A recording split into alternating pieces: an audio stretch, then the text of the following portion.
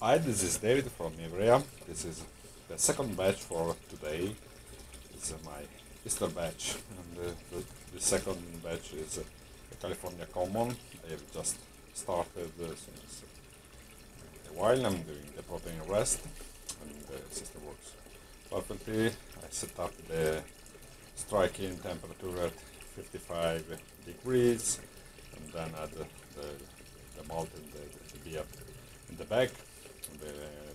Temperature should drop down a couple of degrees, and now I hope it will reach my strike temperature for the machine that is 54 degrees here. We are quite close to the target temperature.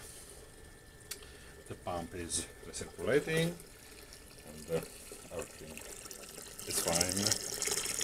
Indeed, seems very powerful this pump.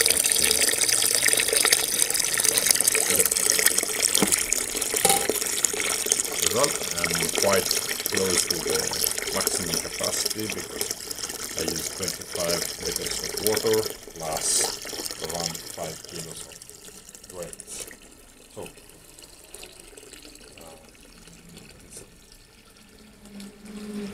the recipe foresee steps, protein rest and starch conversion at uh, 68 degrees.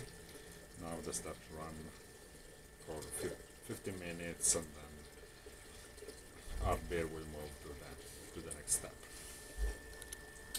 Here is my first batch of today. This is the Belgian Golden Strong Ale, like a Duvel clone, and I have just to add the, the yeast, and then I put my cellar to start the fermentation.